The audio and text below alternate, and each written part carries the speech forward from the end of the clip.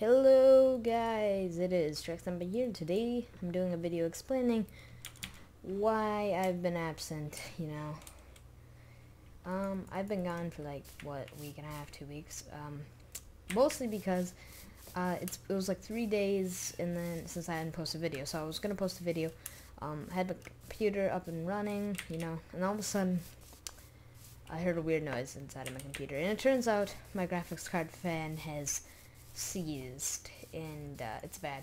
So instead of just going through the hassle of getting a replacement fan and all that, I decided to get a better graphics card. So now I have a new and smooth graphics card. It's, uh, it's got the Radeon, AMD Radeon HD 7870. Yeah, it's pretty swagalicious. Um, that's a bad word. Anyways, um, yeah, if you can hear the sound of my keyboard. Uh, but it doesn't matter. So that's pretty much explaining where I've been. But right now I'm on evolutionkits.net. It's not open yet, but uh, it will be soon.